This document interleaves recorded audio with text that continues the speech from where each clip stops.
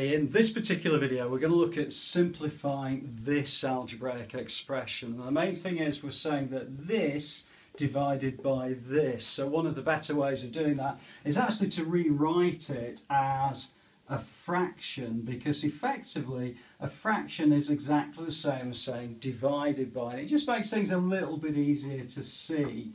Uh, because we're dealing with the laws of indices here as well. So the first thing I'm going to do is I've got 18 divided by 6. Well, that's just 3 because 6 goes into 18 three times, so that's absolutely fine. The next thing I've got is d to the power of 8 divided by d to the power of 2. Well, using laws of indices, we just simply subtract those, and that becomes d to the power of 6. And then finally I've got g to the 10 divided by g to the 5. Again, we subtract those, so that becomes g to the 5.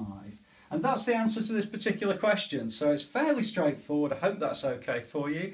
Uh, we're coming up towards the end of this particular playlist. The next couple of videos are a little bit more sophisticated. I hope it's all right. Please do add a comment below in the uh, comments and I'll always come back to you. I look forward to seeing you inside the next video.